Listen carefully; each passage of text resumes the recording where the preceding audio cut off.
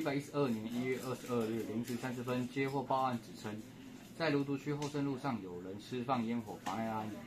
民警获报后随即前往处理，并将一名在现场施放烟火的外籍工劝离。处理过程平和，未有冲突情势发生。芦竹分局呼吁，春节期间释放烟火应注意公共安全，并应注意切勿扰民。为维护公共秩序，本分局亦将严正执法，确保大众春节期间的安全与权利。